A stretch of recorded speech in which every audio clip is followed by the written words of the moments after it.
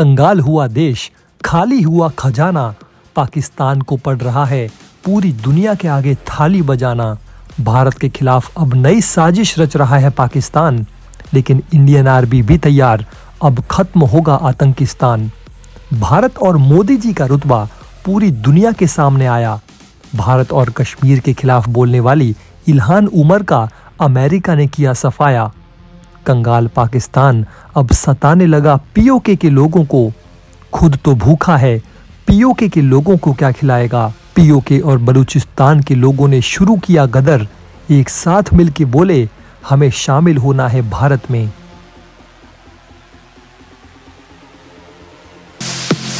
तो दोस्तों, पाकिस्तान लगभग लगभग कंगाल होने की कगार पर है। महँगाई आसमान छू चुकी है और लाखों लोगों के पास खाने के लिए कुछ भी नहीं है। ऐसे हालात में भी पाकिस्तान अपनी हरकतों से बाज नहीं आ रहा है। वो लगातार भारत को निशाना बनाने की कोशिश में लगा हुआ है। पाकिस्तान का एक और काला सच कश्मीर मुद्दे पर सामने आया है। वो सोशल मीडिया पर कश्मीर मुद्दे को लेकर फेक नैरेटिव फैलाने का प्लान बना चुका है और उसने 5 फरवरी को कश्मीर सॉलिडेरिटी डे मनाने की तैयारी की है।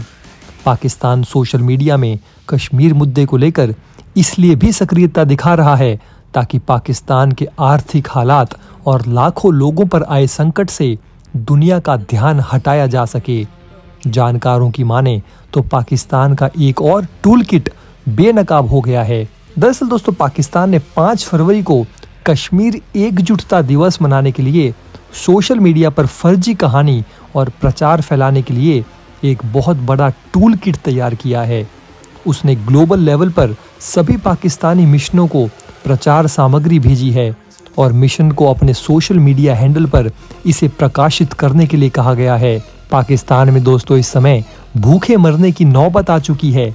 खाने के लिए लाखों परिवार तरस रहे हैं, लेकिन पाकिस्तान अब भी कश्मीर और पीओके का राग अलाप के बैठा है। पाकिस्तान को अच्छे से पता है कि उसका भारत के बिना कोई गुजारा नहीं है। पाकिस्तान का संतरी से लेकर मंत्री तक जानता है कि अगर भारत के साथ पाकिस्तान ने अपने रिश्ते नहीं सुधारे तो वो जल्द ही बर्बाद हो जाएगा।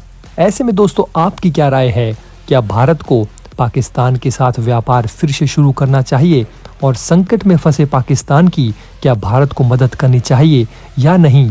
आप कमेंट बॉक्स में हाँ या ना लिखकर अपना जवाब बता सकते हैं। पाकिस्तान की अर्थव्यवस्था तो दोस्तों इस समय ढह चुकी है। देश को इस संकट से उबारना मुश्किल हो रहा है, लेकिन यही पाकिस्तान खुद को कश्मीर बयानबाजी से रोक नहीं पा रहा है। दरअसल पाकिस्तान लगातार भारत विरोधी साजिशों पर बहुत धन खर्च करता रहता है। सरकार में बैठे लोग ये समझते हैं कि भारत का विरोध करने से वो सत्ता में बने रह सकते हैं। और ये सच भी है दोस्तों, क्योंकि पाकिस्तान में किसी की भी सरकार हो, वो भारत के खिलाफ जहर उगलने से नहीं बचते।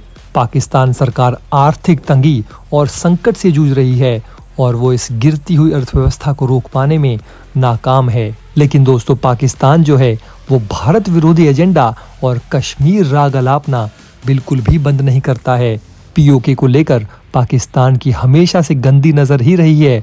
ऐसे में पाकिस्तान को हिदायत देते हैं हम कि जल्द सुधर जाओ वरना अगर भारत अपनी पे आ गया तो मुँह छुपाना भी मुश्किल हो जाएगा। अब दोस्तों, हमने पीओके की बात की है तो अमेरिका की एक सांसद के बारे में भी बता देते हैं, जो कि इन दिनों काफ़ी सुर्खियों में है। सुर्खियों में इसलिए क्योंकि वो भारत की कट्टर विरोधी थी इसराइल के खिलाफ भी बयान दे चुकी थी और विवादित पीओके का दौरा भी किया था।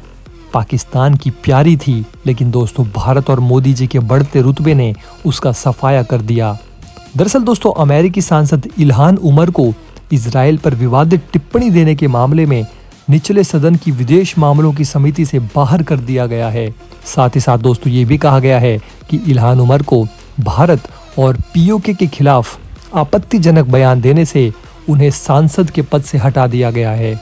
वहाँ की डेमोक्रेटिक पार्टी के सांसद इल्हान उमर को समिति से बाहर का रास्ता दिखाया गया है। दरअसल दोस्तों, ये पहला मौका नहीं है जब इल्हान उमर सुर्खियों में बनी हुई है।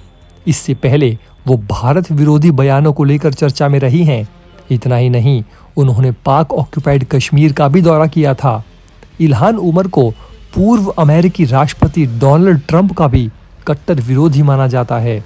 आपको बताते चले दोस्तों कि इल्हान उमर जो है, उनका जन्म सोमालिया में हुआ था, लेकिन सोमालिया में लगातार गृह युद्ध के चलते उनके परिजनों ने देश छोड़ दिया था। इसके बाद उन्होंने अमेरिका में राजनीति में करियर बनाने का फैसला किया और 2016 में इल्हान उमर चुनाव जीतकर मिनेसोटा की प्रतिनिधि सभा पहुँची।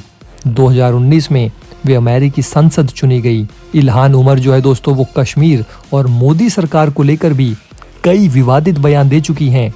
पिछले साल अप्रैल में उन्होंने अमेरिकी संसद में कहा था कि आखिर मोदी सरकार मुसलमानों के खिलाफ और क्या क्या जुल्म करेगी, तब जाकर बाइडेन प्रशासन कुछ कहेगा। इतना ही नहीं, उन्होंने अमेरिका के भारत समेत कई देशों के साथ रिश्तों को ऐतिहासिक अन्याय की संज्ञा दी थी। इतना ही नहीं, उन्होंने पिछले साल पाकिस्तान अधिकृत कश्मीर यानी पीओके का दौरा भी किया था, जिसका दोस्तों भारत ने खूब आलोचना की थी।